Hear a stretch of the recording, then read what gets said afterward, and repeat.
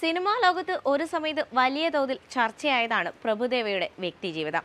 നയൻതാരയുമായുള്ള പ്രണയവും ബ്രേക്കപ്പുമാണ് ഇതിന് പ്രധാന കാരണമായത്.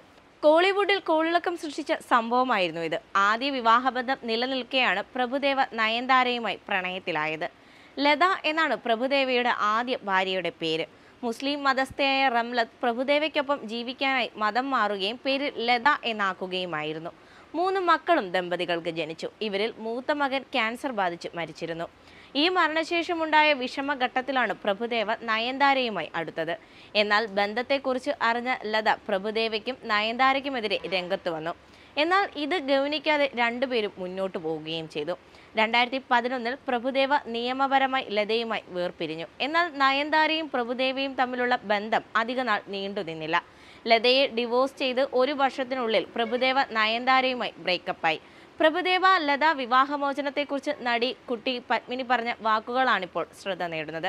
സാമന്ത നാഗചൈതന്യ വിവാഹമോചനത്തെക്കുറിച്ച് സംസാരിക്കവെയാണ് കുട്ടി പത്മിനി പ്രഭുദേവയെ പരാമർശിച്ചത്. നാഗചൈതന്യയുടെ കുടുംബം പണക്കാരാണ്. വിചാരിച്ചിരുന്നതിനേക്കാൾ എത്ര പണം വേണമെങ്കിലും അവർ ആവശ്യപ്പെടാമായിരുന്നു. ഹൃത്തിക് റോഷൻ അവരുടെ ഭാര്യയുമായി പിരിഞ്ഞപ്പോൾ ഭാര്യ വലിയ തുക ജീവനാംശമായി വാങ്ങിയിരുന്നു. മാസം കോടികൾ കയ്യിൽ വരുന്ന തരത്തിലാണ് ഡിവോഴ്സ് സെറ്റിൽമെന്റ് ചെയ്തതെന്നാണ് വിവരം. പ്രഭുദേവ സാറിന്റെ ഡിവോഴ്സ് സെറ്റിൽമെന്റ് പോലെ തമിഴ്നാട്ടിൽ മറ്റൊന്ന് ഉണ്ടായിട്ടില്ലെന്നാണ് അഡ്വക്കേറ്റ് എന്നോട് പറഞ്ഞത്. നൂറ് കോടിക്ക് മുകളിൽ കൊടുക്കാമെന്ന് പറഞ്ഞാണ് സെറ്റിൽമെന്റ് ആയത്. പ്രഭുദേവ സ്വന്തം ഇഷ്ടപ്രകാരം കൊടുത്തതായിരിക്കാമെന്നും കുട്ടി പത്മിനി അഭിപ്രായപ്പെട്ടു.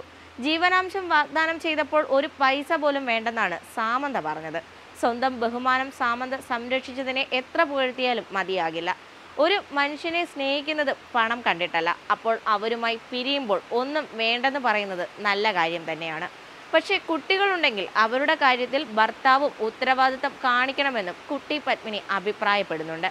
രണ്ടായിരത്തി പതിനേഴിൽ വിവാഹിതരായ സാമന്തയും നാഗചൈതന്യയും രണ്ടായിരത്തി ഇരുപത്തി ഒന്നിലാണ് വേർപിരിഞ്ഞത്.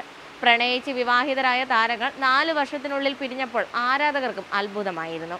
മറുവശത്ത് പ്രഭുദേവ ഹിമാനി സിംഗിനെയാണ് രണ്ടാം വിവാഹം ചെയ്തത്. രണ്ടായിരത്തി ഇരുപതിലാണ് പ്രഭുദേവയുടെ വിവാഹ വാർത്ത പുറത്തു വന്നത്.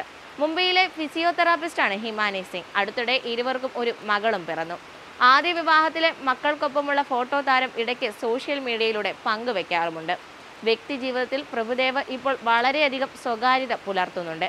ഹിമാനി സിംഗുമായുള്ള വിവാഹകാര്യം പോലും ഇദ്ദേഹം പരസ്യമാക്കിയിരുന്നില്ല.